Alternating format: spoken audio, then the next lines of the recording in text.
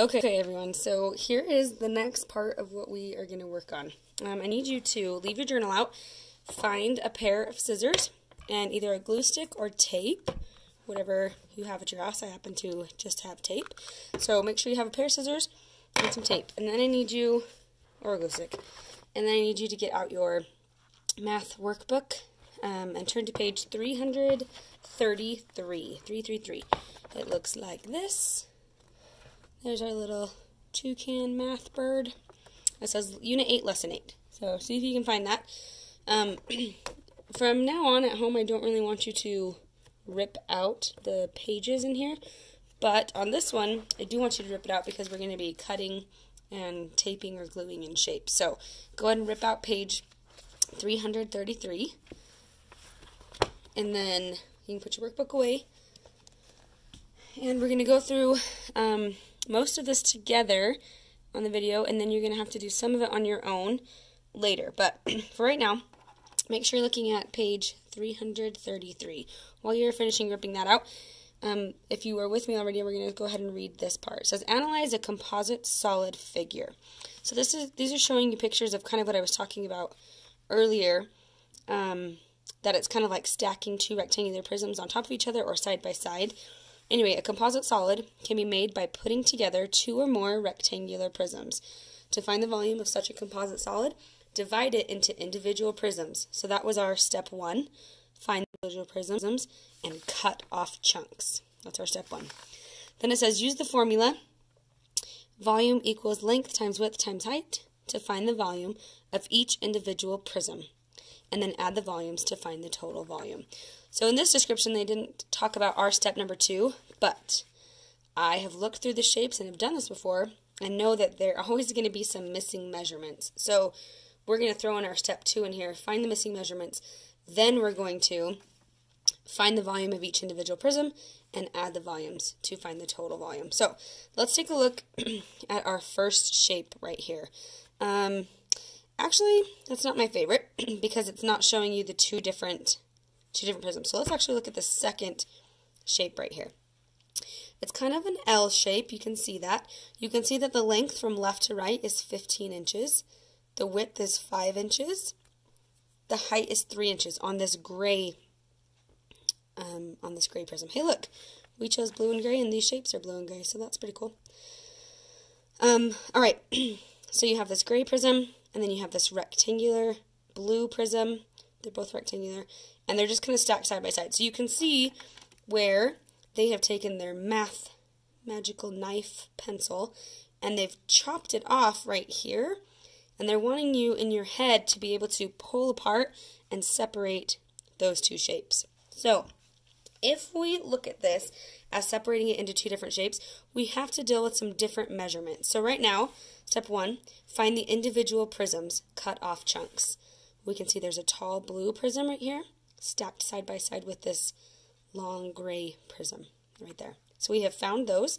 They have already decided for us where they're going to cut off the chunk. It's right there where that dashed line is. And now we're on step two, find the missing measurements. So what we mean by, by that is if you look at just the gray prism, right here, sorry, this one, if you look at the, just the gray prism, is it really 15 inches still?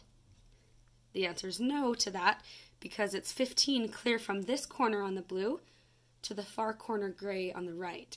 So it is no longer 15 inches. That is not a correct measurement. So I actually think we're going to be kind of scratching that out, but make sure it's still visible because we're going to need it.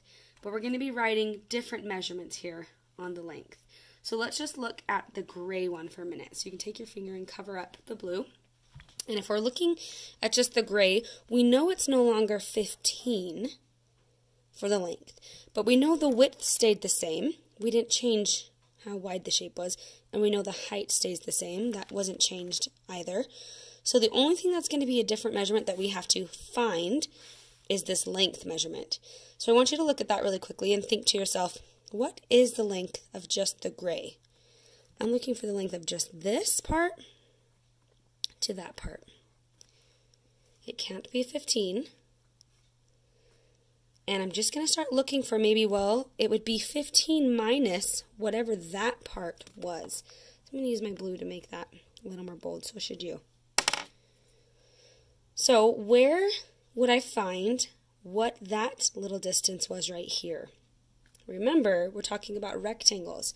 So wherever you see a line that looks the same amount of distance or is opposite of a rectangle, right? So you have the bottom, the opposite would be the top. So I know right now that this line, whatever distance this is, is going to be the same as that. But I also know that this is the front of this rectangular prism, and that is the back of the rectangular prism. So I know that because front and back are opposite, this is 3, this is 3, which then tells me that this is 3. So don't let that be, ah, that doesn't look like a very good 3.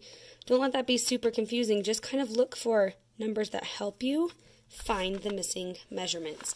Again, I found it by thinking, okay, well, where's a distance that looks like this? This is the bottom, this is the top. Those two are going to have the same measurements. But I still didn't even know this one, so I had to look at this as the front of the shape, and this is the back of the shape. Remember opposites, front and back. So if this is 3, then the front would also be 3, which means that the top is 3 and the bottom is 3. So I now know that this missing piece is 3. So I should be able to use the calculations in my head to figure out, well, it used to be 15, but then I took away 3 inch chunk right here. So what inches are left? So 3 plus what would give me 15? The answer is 12. Congrats if you said that. The answer is 12. So my measurements for just the gray are not 15, 5, and 3. They are 12, 5, and 3. So to find the volume of the gray, remember volume is nice, it doesn't bite. Just do length times width times height. So just do 12 times 5 times 3. There's a couple different ways you can do multiplication. You can combine the terms that you know easiest. But for me, doing 15 times 12 is not very easy. But I could do 60 times 3. That is a little bit easier in my head because I can do mental math. 60 times 3 is 18 with a 0 because 6 times 3 is 18 0. So the volume of just the gray is 180 inches cubed. I won't make you write that part yet until our answer. But it was 180 inches cubed. That is only one part of how we find the volume of this composite solid. So in the next video, we're going to find out how to do the blue rectangular prism, and then on step three, we're going to add those two volumes together.